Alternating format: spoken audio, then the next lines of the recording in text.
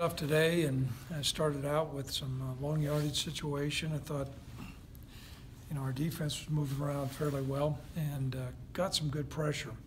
So pleased about that.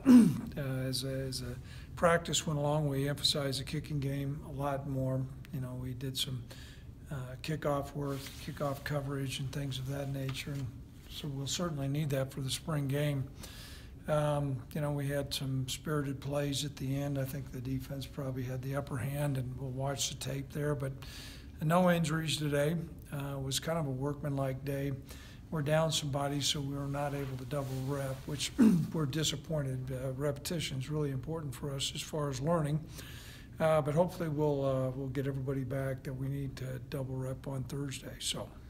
Because you're getting closer to wrapping spring up, or you're getting closer to getting some separation at, mm-hmm. at some positions, like at running back or receiver, or corner or anything, or you're really not getting a good, clear um, picture yet? N- After this scrimmage, we'll have a lot more, Robert. You know, we had one, so we made an assessment off that. Probably won't establish the depth chart. We may establish one after this, after this scrimmage though.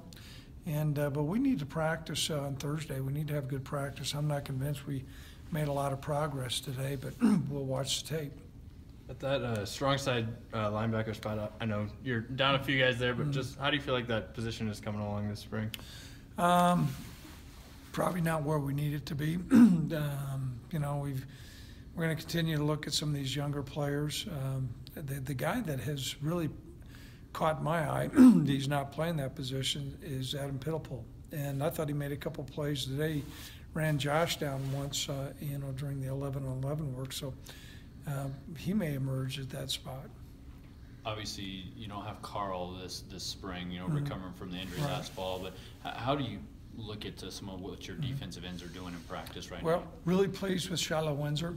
Um, he's got a little bit of a growing pole, but think he'll be back at full strength, but showing some good things. Um, you know, I think there's a collection of some guys. Um, you know, obviously, uh, KP has played uh, quite a bit last year, Kevin Prosser. And, uh, you know, I, like I said, I think Shiloh is doing some good things, and Josiah Hall, Noah's out there, and so uh, we'll continue to look at that group.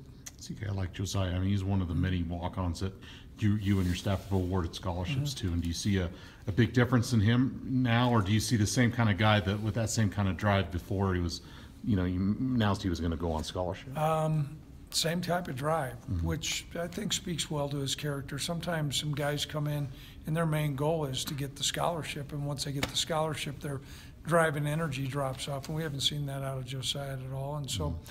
Encouraging to see guys like that, and you know, it's another example of us rewarding guys that come in and do well and earn a spot. With Josh, I know obviously he's kind of getting used to a new set of targets, but just him personally, I guess where have you seen him sort of fine tune some things since the end of last season? I think uh, a couple of his uh, progressions on his reads and um, taking the ball, um, you know, on a maybe a little bit quicker release. Um, certainly, he's got tons of ability, but seen some improvement there.